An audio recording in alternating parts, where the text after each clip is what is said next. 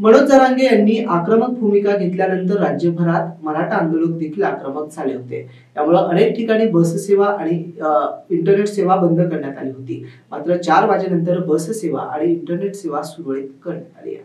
मनोज जरांगे यांनी आक्रमक भूमिका घेतल्याने राज्यभरात आंदोलक देखील आक्रमक होताना पाहायला मिळाले.